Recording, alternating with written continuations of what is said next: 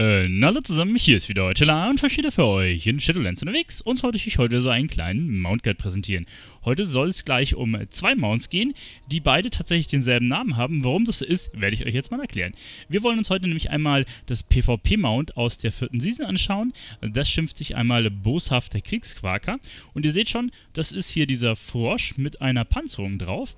Und wir können auch einmal das Mount-Special anmachen.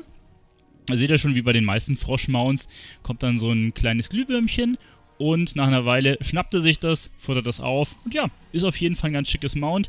Hüpft auch recht lustig rum, nix für schwache Nerven. Ich sag's euch, wenn ihr, wenn euch da schlecht wird, ne, äh, ist das Mount vielleicht nichts für euch, aber es hat auf jeden Fall eine ganz nette Animation vom Springen her.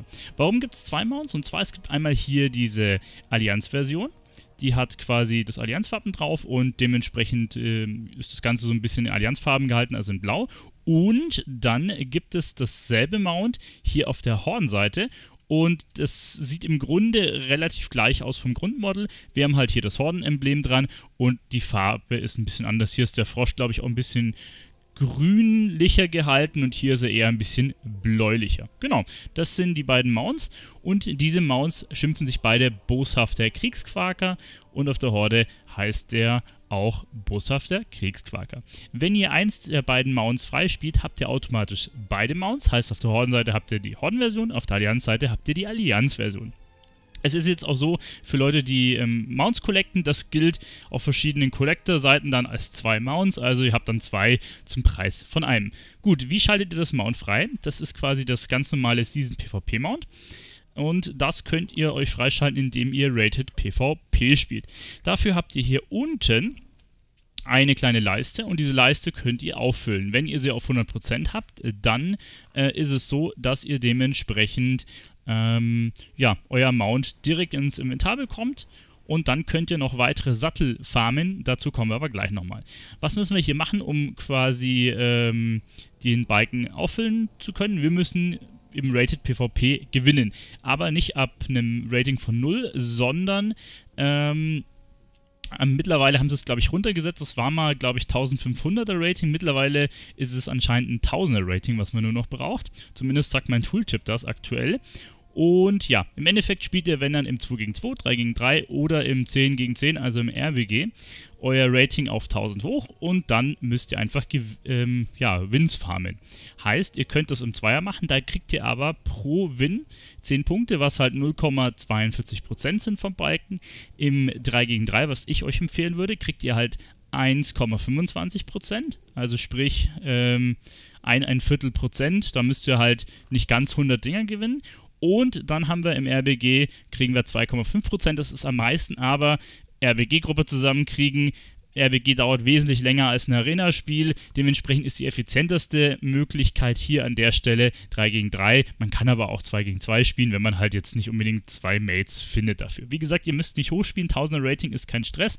Ihr solltet äh, vielleicht wissen, dass im PvP das so funktioniert, dass ihr startet mit einem MMR, also ein Matchmaking-Rating. Äh, was euch äh, mit 1500, ihr startet aber mit 0 Rating. Solange euer MMR ein gutes Stück über eurem normalen, also dem Current Rating ist, äh, auch wenn er verliert, macht er kein Minus. Also ihr könnt eigentlich, wenn ihr jetzt nicht 50 Mal am Stück nur verliert, bis 1000, äh, eigentlich sogar bis 1500 fast hochspielen, ohne Rating zu verlieren. Ja? Also auf 1000 zu kommen ist nicht sonderlich schwer und da dann Gems, wenn ihr dann jedes äh, zweite, jedes dritte gewinnt, dann kriegt ihr das Mount hier auch zusammen. Mittlerweile ist es jetzt nur noch eine Woche drin. Ähm, das Video soll also als kleiner Reminder ähm, quasi auch gelten, falls ihr das euch noch nicht erspielt habt. Ihr habt jetzt noch eine Woche Zeit, es ist durchaus möglich, wenn ihr euch ein bisschen hinlockt, das Mount noch zu holen. Solltet ihr das verpasst haben, irgendwann wird dieses Mount aber auch noch bei einem Händler eingefügt und zwar Mittlerweile ist das System so, wenn ihr euch das aktuelle Season Mode erspielt habt, dann könnt ihr den Balken nochmal auffüllen. Also der Balken ist dann wieder auf 0, ihr kriegt das Mount und dann könnt ihr den Balken nochmal auffüllen. Und dann kriegt ihr einen schrecklichen Sattel. Wenn ihr den äh, geholt habt, könnt ihr den Balken nochmal auffüllen. Also ihr könnt theoretisch in einer Season X Sättel farmen und mit diesen Sätteln könnt ihr dann Mounts aus älteren Seasons kaufen. Aktuell ist es so, dass ihr euch nicht die Mounts aus Shadowlands kaufen könnt.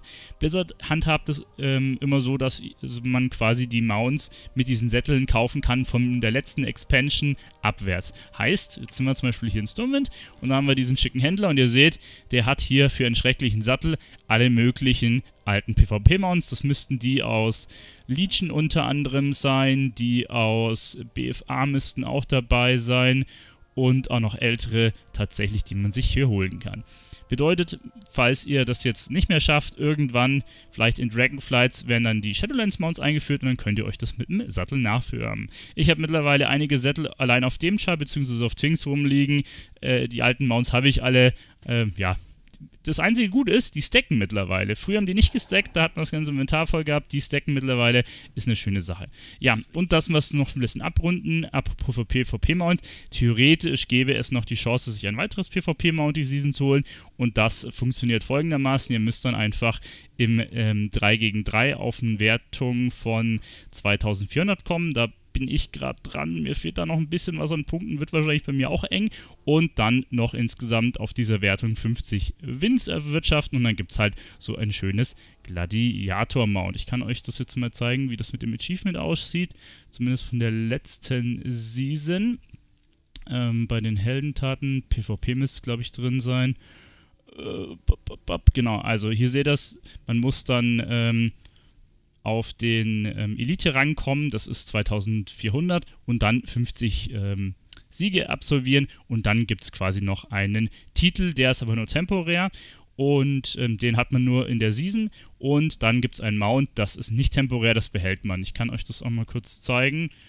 Ähm, hier, das ist jetzt von der letzten Season, aber das Mount von der Season sieht genauso aus, bloß halt ein bisschen anders von der Farbgestaltung. Aber das kennen wir ja von Blizzard, sind immer alles schöne Recolors. Gut, das sind soweit die Informationen, die ich euch geben kann. Ich drücke euch die Daumen, falls ihr das Mount noch nicht habt, äh, dass ihr es schafft, noch auf 1000 Rating hochzubasteln und einige Wins durchzuballern.